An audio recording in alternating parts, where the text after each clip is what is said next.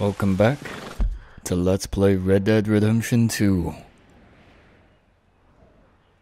We made our way over through Ambarino.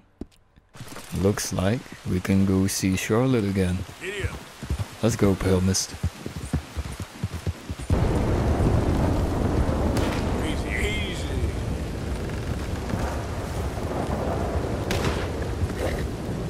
Darn it, there's not a single one.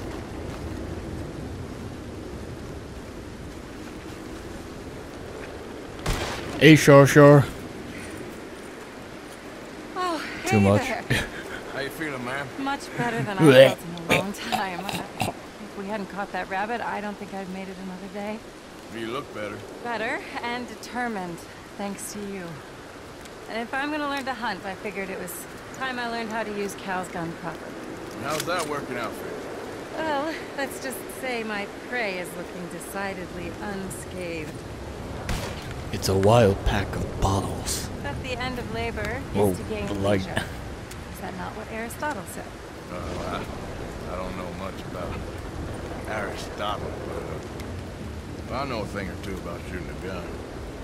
Look, you gotta hold steady. Firm. Hmm? You just focus.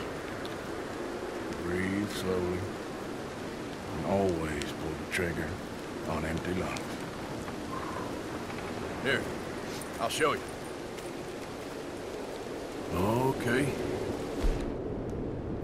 Calm and steady. Don't snatch at the trigger. What is this? Demo. You make it look so easy. Yeah, Arthur. Alright. You try now. Remember to breathe. Just breathe out. Breathe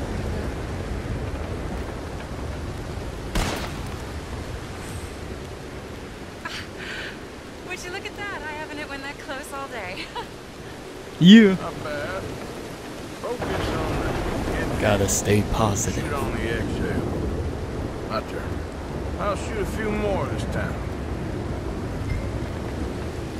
Damn, showing off ain't gonna do nothing, Arthur. Nothing. I'll take care of this. Oh, Pack of bottles for you. back. Over there, you see? It's been a thorn on my side ever since we moved here. I see it now that I'm editing, but uh, when I was playing it, I couldn't see a damn thing. Couldn't see it.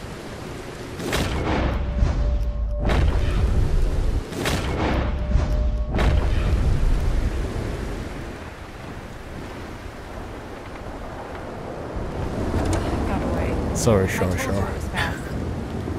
Anyway, my turn.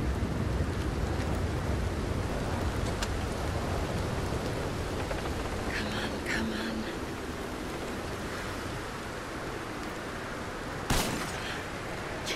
Nice. I hit it! I hit it, didn't I? what can I say? Thank you. Take me for what? I still have some of the rabbit left that I salted up. Would you join me for a meal? It's the least I can do. yeah. Free meal.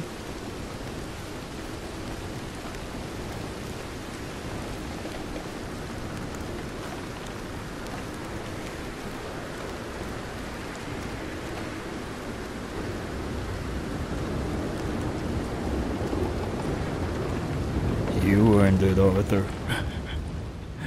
Not really, but uh, Go ahead and take a seat at the table. Food is just about done. oh, finally out of that rain. There's way too much rain up here. Well, it's, it's good and hot. I hope you enjoy it. You helped me to catch it after all. bon appetit. Ah. Please enjoy. And thank you again for everything. It means good I appetite, really am Arthur. grateful.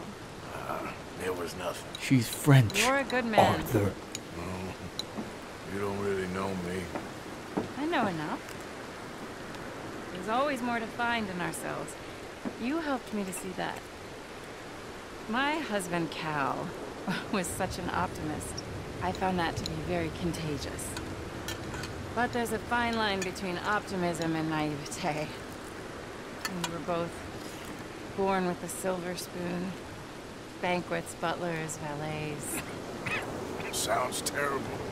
It's just so many people, so many. Oh, oh. I was lost in this, crushed by it. My father was very overbearing.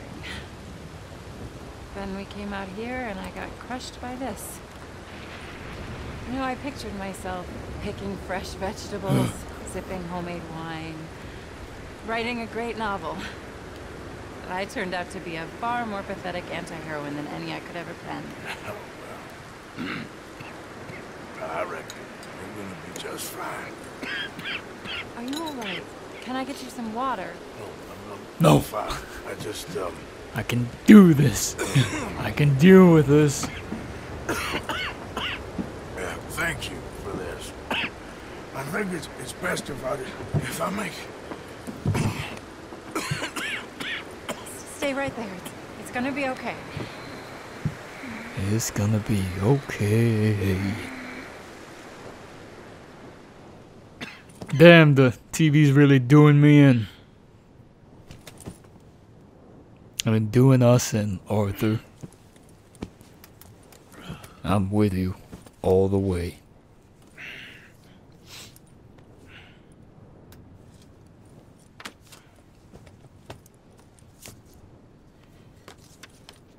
My dear Arthur, I have gone out hunting.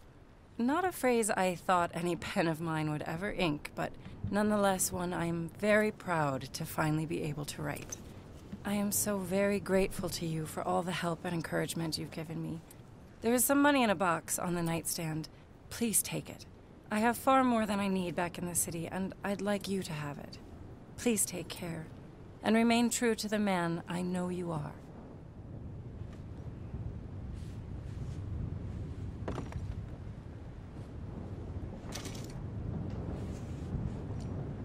Loot jewelry box.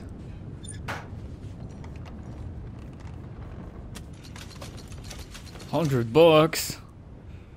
Uh, I mean, if that's what you want, Charlotte.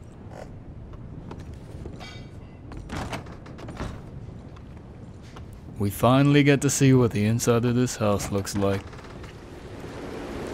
Well, I hope we helped her enough. Time to leave.